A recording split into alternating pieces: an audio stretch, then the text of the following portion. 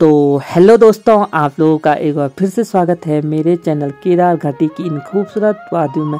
Hope आप लोग बड़े होंगे, मैं भी बड़े हूँ।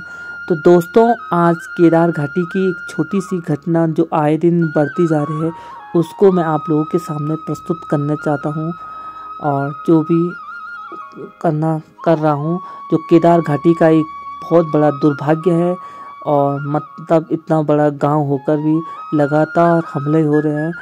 और जो ये बूढ़ी माँ है तो इसी के गौशाले पर लगभग तीन चार गायों को गुलदार के लगातार हमला कर दिया है। और ये माँ सरकार से अपील करना चाहती है कि इसकी कुछ मदद की जाए और बस आज के इस ब्लॉग में बने रहे और देखिए एक माँ की दर्द भरी कहानी और तो दोस्तों, आप देख सकते हैं, लगातार हमला हो रहा है। मतलब इस लगातार दोस्तों यहाँ से मतलब दो तीन गाय को बाघ ने खा लिया है। मतलब शेर ने इस या, इस यहाँ पे देख सकते हैं। और यहाँ पे कल ही इस पे भी हमला हुआ।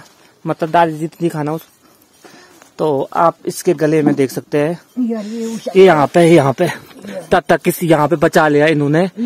और ये देख सकते हैं शेर का हमला। मतलब दो तीन गाय तो यहाँ से ले गया वो। मतलब और फिर पूरी व्यवस्था कर रखी है, फिर भी ये देख सकते हैं दंड ये कुछ इस तरह से लगा रखा है। तो आपका कुछ कहना है? भगवान, कुछ नहीं बेट नहीं, लाड़ी नहीं, कुछ नहीं। ना बागान कह ना। अको लोग सब जाना था ही सो भी गधोल दिया तो देख सकते हैं। दादी जी का कुछ भी नहीं है फिर भी ऐसे हमले मतलब लगातार हमले हो रहे और सरकार से हम अपील करते हैं कि जो ये गाँव में लगातार ये हमले हो रहे बाघ शेर के तो उन बाघों को पकड़ने का कोशिश करे फॉरेस्ट गार्ड वालों को। तो दादी जी बहुत परेशान है इस इससे। चाहोगे? दरवाज़ा भी भला नहीं क्या कान में कहीं में दरवाज़ा भी लोन में? लोन के इंच। मामा जी, इनका घर भी यहीं पे है और ये भी थोड़ा बताएँगे। कुछ बता दो।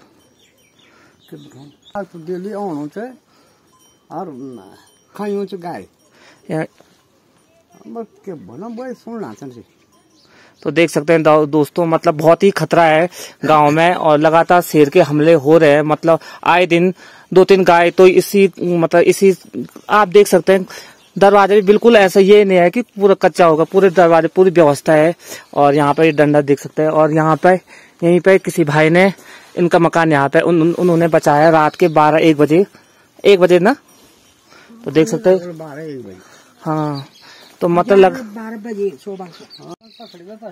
सो दोस्तों मतलब अभी यहाँ से और काफ़ी हमले हो रहे हैं तो मैंने आपको दिखाया तो इस वीडियो को इतना शेयर करिए कि आने वाले टाइम पे गाँव में व्यवस्था हो। और हमारे गाँव में ऐसी काफ़ी मुश्किलें हैं मतलब शेर के हमले काफ़ी हो रहे हैं।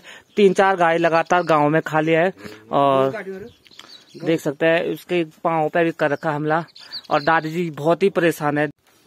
एरा ठीक था खूब कर व्यवस्था। सो so, दोस्तों अभी पहुँच गए हम मतलब यहाँ पे स्नो पॉट पे आप देख सकते हैं। और अभी मैंने आपको वहाँ पे दिखाया दादी जी का मतलब बहुत ही दुखद घटना है ये। और ये एक मतलब विलेज लाइफ की एक बहुत बड़ी दुखद घटना है। एक गाय भैंस वो होते हैं मतलब इंसान जितना प्रेम अपने परिवार फैमिली के मेंबर से रहता उतना ही प्यार उनसे रहता। तो ऐसे करके मतलब वो हो रहा है गाँव में। तो वहाँ पे लगभग दो तीन गाय गाय को हमले हो गए मतलब गाँव में तो काफ़ी हो गए बट वहाँ पे इस, उस गौशाले पे दो तीन हो गए। तो अभी यहाँ पे देख सकते हैं, ये रिसोर्ट कितना प्यारा लग रहा है।